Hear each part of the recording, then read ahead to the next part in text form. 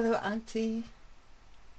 I was thinking, what if you were to create a blog that would appeal to the layperson, where you disambiguate economic terms, bring them uh, closer to everyday use, and then take it from there.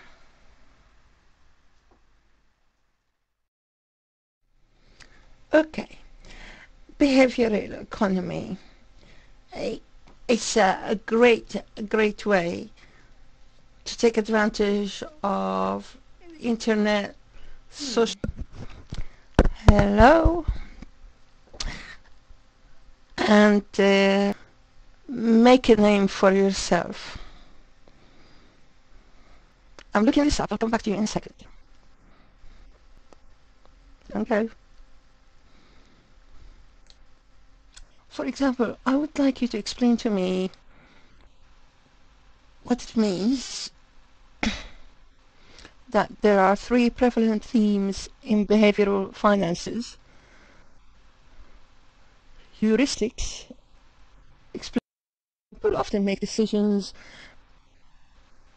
based on approximate rules of thumb and not strict logic.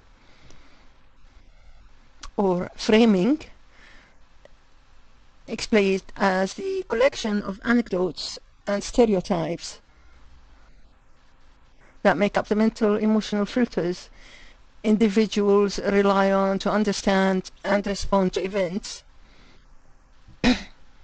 or market inefficiencies. Explained as these include mispricing, I beg your pardon, and non-rational decision making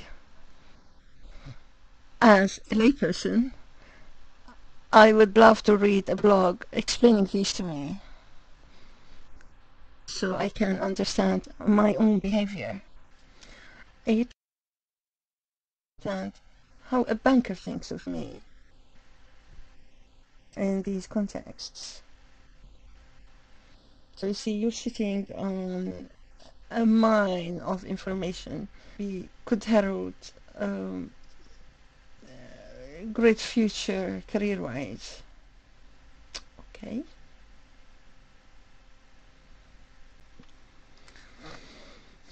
So while you're considering this, I don't think about resources. Um, I have access to most of these.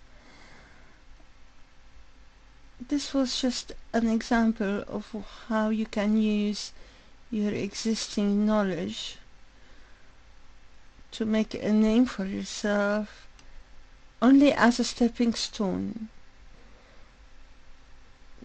There is much more to discuss. Talk soon. Sleep tight. Bye.